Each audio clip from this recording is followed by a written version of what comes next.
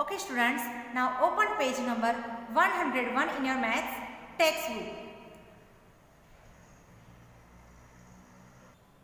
Students, today I am going to teach you about capacity. Capacity means kshamta. Capacity is the amount any object can hold.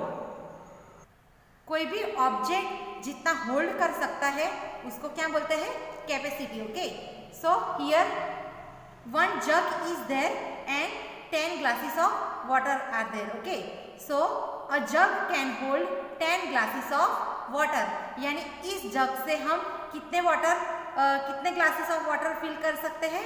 Ten glasses okay now turn your page we can also write it as follows. A jug holds more water than a glass. यानी जो जग है वो glass से ज़्यादा water hold कर सकता है उसमें ज़्यादा पानी हम भर सकते हैं। And a glass holds less water than a jug यानी जो ग्लास है वो जग से कम वाटर होल्ड कर सकता है ओके सो so, हम ग्लास में जग से जग से कम पानी भर सकते हैं। ना look at another example students here one more example is given here what is this? Kettle. And these all are cups okay? So a kettle can hold five cups of milk, यानी जो cattle है वो कितना milk hold कर सकती है? Five cups of milk okay यानी kettle से हम फाइव कप्स ऑफ़ मिल्क भर सकते हैं। उसमें फाइव कप मिल्क भर सकते हैं। We can also write it as follows a kettle hold sorry a kettle holds more milk than a cup यानी जो कैटल है वो कप से ज़्यादा मिल्क होल्ड कर सकती कर सकती है।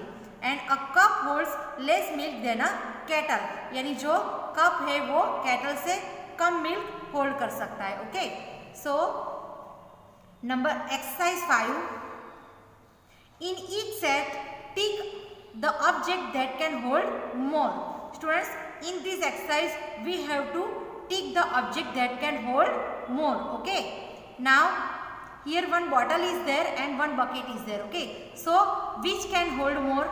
In this set bucket uh, bottle or bucket yes bucket so tick mark here b here one bowl and saucer is there okay so which can hold more bowl or saucer bowl so tick mark here next here two spoons are there.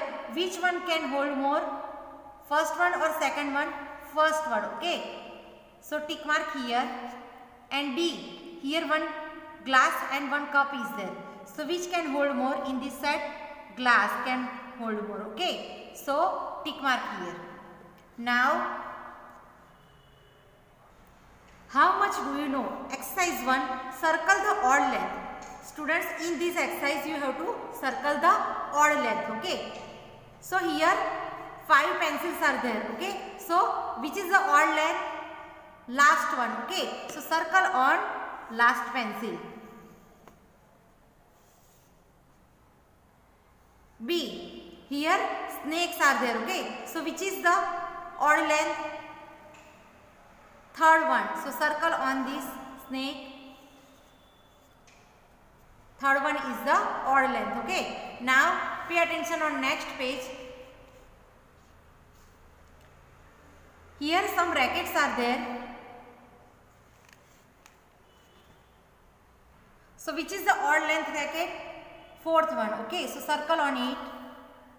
Now exercise 2. Color the box next to the children or animal on the heavier side. Now look at here. These children are sitting on a seesaw. Okay. ये किस पे बैठे हैं seesaw पे so which is the heavier side here one boy is there and here two girls are there okay so which is the heavier side this side okay? So fill the color in this box.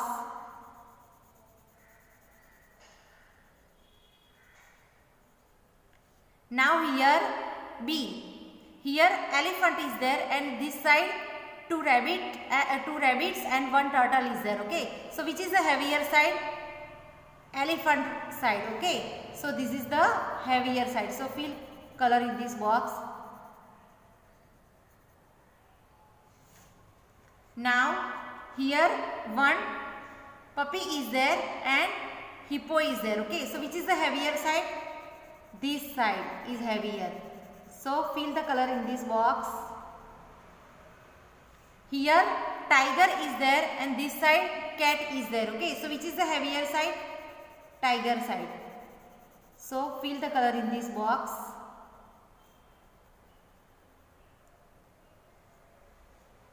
Now exercise 3 number these containers in increasing order of their capacities.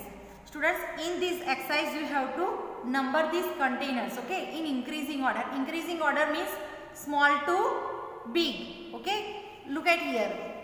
Here one example is given.